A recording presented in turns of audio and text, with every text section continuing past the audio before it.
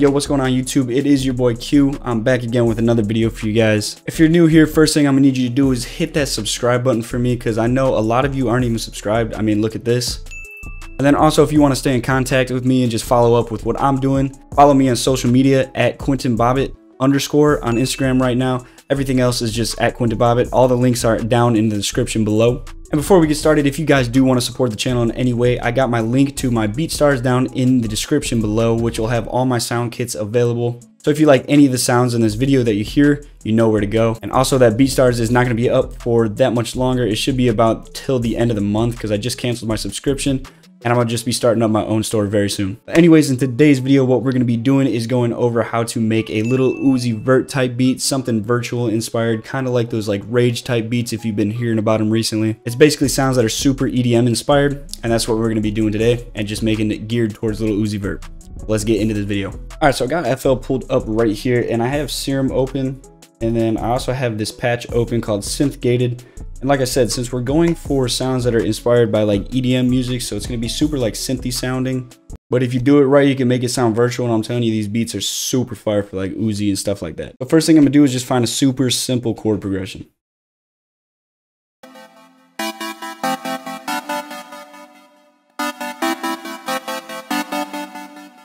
All right, yeah, I like that. So I'm gonna record it and just lay it down.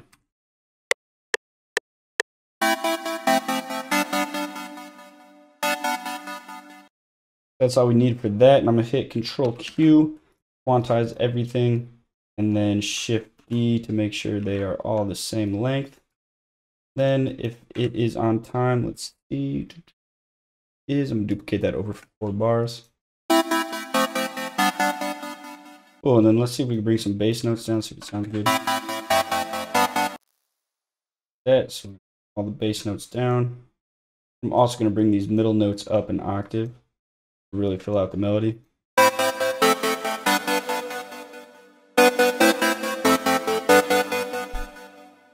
All right, yes, I'm liking how that sounds. So next thing I'm gonna do, I routed it to the mixer track one and we're gonna EQ out some of the sounds that I don't like.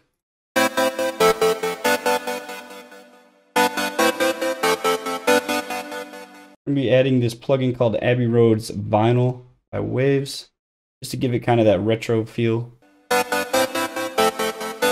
And I'm just turning it down a little bit.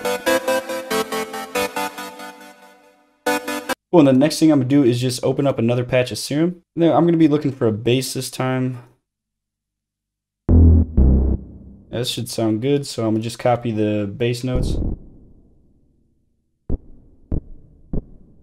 Control L, legato.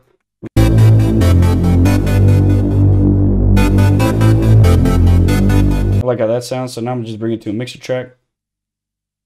I'm going to EQ it a little bit. I'm going to add a fruity fast distortion to it.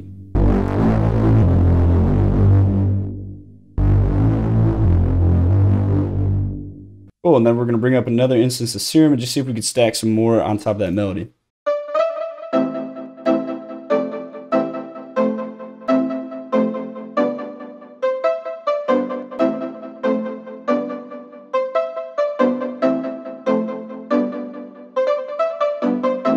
Gonna see if I can find something a little less like island sounding. All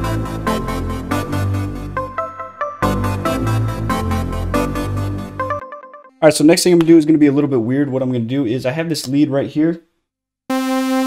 Sounds like that, pretty basic like saw lead. And what I'm gonna do is bring it into the pattern and I'm gonna make a note at C and I'm gonna make it eight bars long. And then what we're gonna do here is solo it out it to a mixer track. We'll go to four for now. It doesn't really matter. I'm going to hit record and then hit Alt R. And what this is going to do is record it as a wave. Now what we're going to do here is double click the audio file and pull this up. And then we're going to drag this piece in just like that. And basically what we're going to do here is make it a one shot basically. So I'm going to adjust the envelope. But only plays for as long as the note is played. And we basically have a really long one shot. And what I'm going to do is basically the same exact thing. We're going to go into we're going to go into the piano roll. And we're going to play a note at C, just turn it up a little bit. We're going to play with everything. And And then now what I'm going to do is play around with some slide notes. So I'm going to hit S on my keyboard, and I'm just going to have this note slide up and down just in certain spots that I want it to.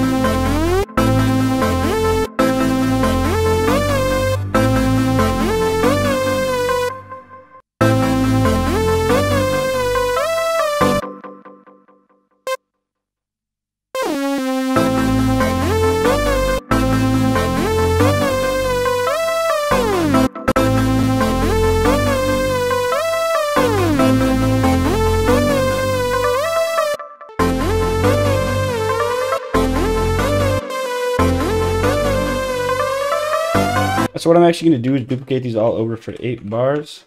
Then instead of it being like this, we're going to have this come way over here. Be like that. And then get it over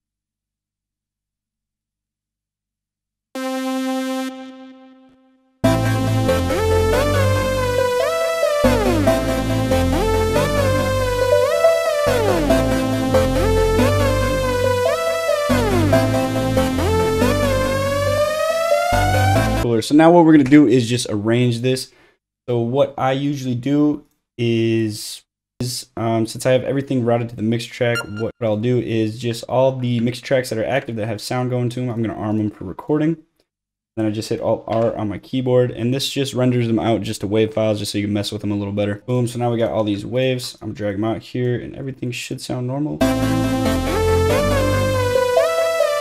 Then we can just route this to any mixer track. All right, so now I'm gonna just arrange this how I would like it. So I'm gonna duplicate it over a bunch of times. And basically after the first eight bars, I'm gonna just drop out that lead. And then at the end of the loop, I'm gonna have the stems in it just because I like uh, anyone using my loops just to be able to have a little more creativity. All you do to put the stems in there is you just, just go like this. Just have each sound play by itself. Then I hit Control Shift R on my keyboard to render that out as a wave in MP3. And I'll just pull up a new FL Studio session to do the drums. All right, so I got the loop pulled up and I have it cut up just so it's the stems. And what I'm gonna do is just duplicate it over and kind of arrange it a little bit. I know in the intro I'm gonna want to have uh, probably have the intro have every sound, and then we'll just cut the bass out and that lead, and then for the next eight bars the lead will come back in, and then we'll decide to do something later after that. But what I'm gonna do here is just drag a pattern in, make it eight bars long, have that play over twice, and we're just gonna start doing some drums. I'm actually just gonna loop it for this long, and we'll start with the clap. I will be using my kit, which is called Q Essentials Volume One.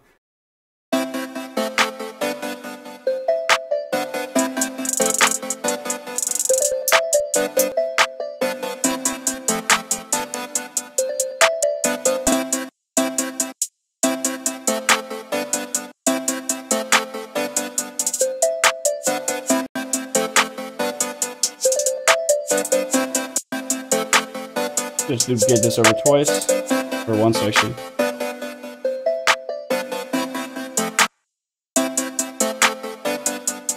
Get a snare going.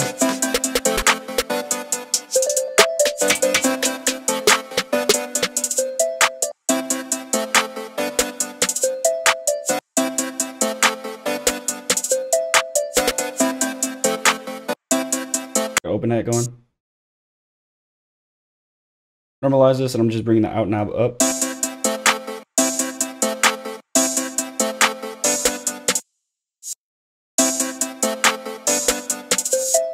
That's pretty much it for percussion right there. I think next thing we do is just work on an 808. I'm kind of feeling Spinz with this just because you can either do like a Spinz 808 or like like a Z 808 kind of like this. I'm going to try with a Spinz person just see how that sounds, but we might switch it up.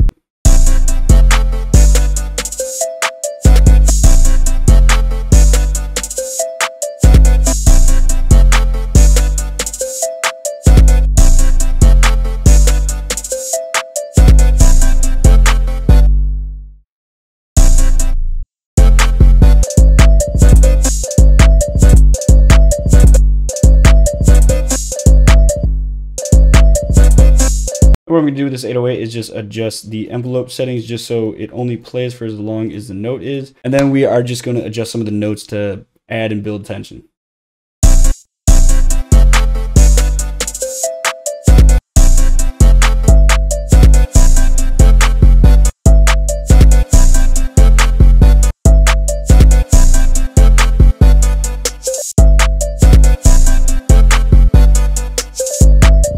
Cool, so we might do an 808 switch, but for now I actually like that. So now I'm just going to arrange the beat. So I'm going to delete this pattern out, right click, split by channel.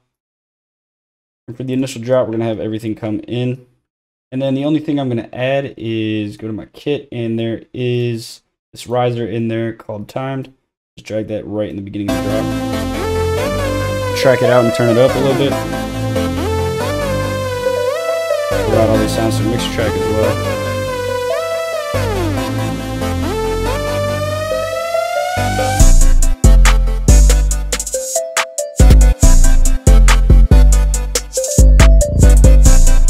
Add a new pattern for the kick. Just drag it in just so when we bring that lead in, we have a little something that changes up.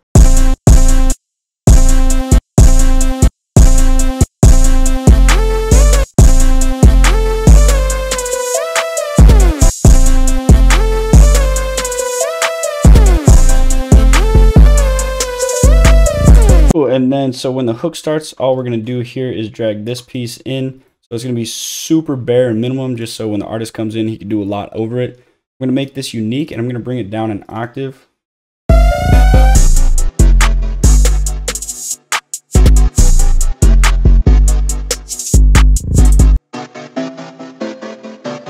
Cool, and then the second half of the verse, we'll have the kick come back in. And we just duplicate this over twice, and that is the entire finished beat.